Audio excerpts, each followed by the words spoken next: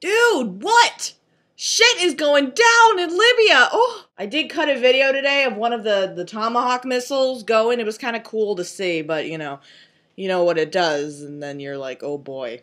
Yeah, there. You know what? There is actually folks outside on this chilly, kind of almost spring evening. They're playing fucking lacrosse out there. It's not quite that time of the year yet. So the other morning in the newsroom, Good Morning America featured who else but Rebecca Black. Because of that damn viral video of hers and all the reception that it's got, including my rant.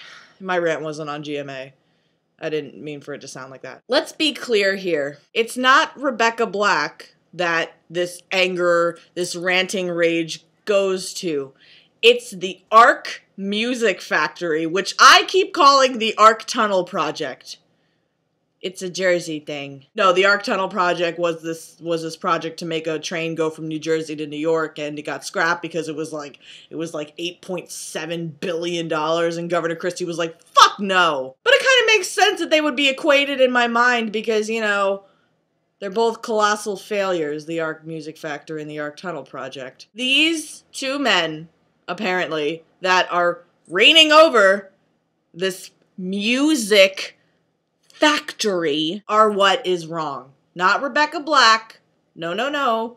These two gents. Let me talk to them. Let me tell them what I really think. The fact that they think it's okay to exploit teenagers as this doesn't sit well with me or my soul. Let's be honest here, folks. It's the same shit recycled over and over again. Any one of these little teeny teenagers can be interchanged with any one of them. So you go to their website, it's like big upcoming stars, and you're like, no, no. I think I think those lacrosse players might might be able to hear me.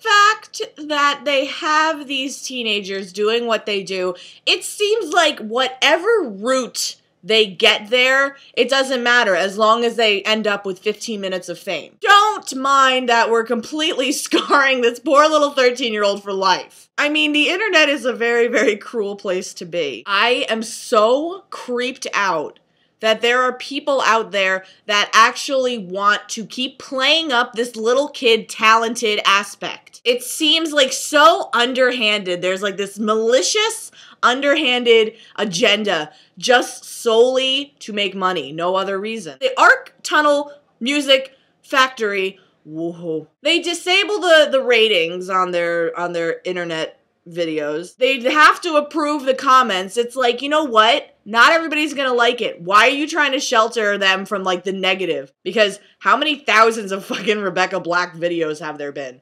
Too many to count. Apparently, I don't know if this is true, but it makes sense to me. That little teeny Jenna Rose girl, you know, who sings My Jeans. Looking out the window and I see some chick, she's wearing my jeans. I check the door, the lock is broken. Bitch, she stole my jeans. She has a good voice. She does, but it's like auto tuned to death. And you're like, what? That girl has a lisp. I can tell. I have a lisp. Slight one. that girl's got a lisp, but you can never tell because it's auto tuned to death. Fucking auto tune is ruining everything everything. We were auto tuning in the newsroom the other day. There's a fucking iPhone app for auto tuning. It's called I am T Pain. And we were. We were T Pain. I feel like I have to just form some sort of like movement against this kind of shit that I see. The coalition against crappy music recording companies.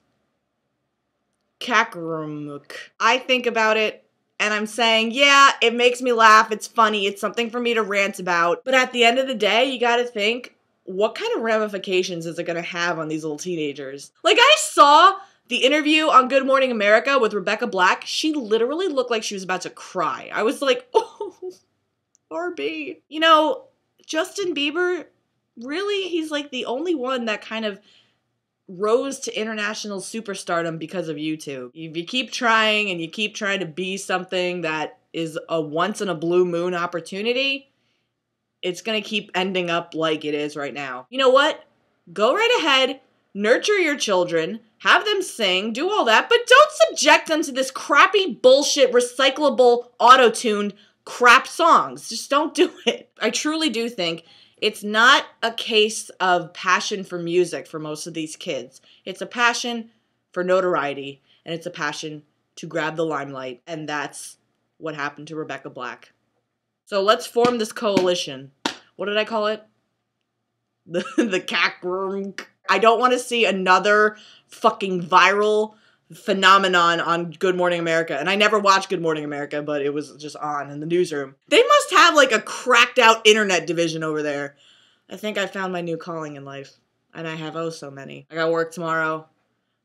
Good night, bitches.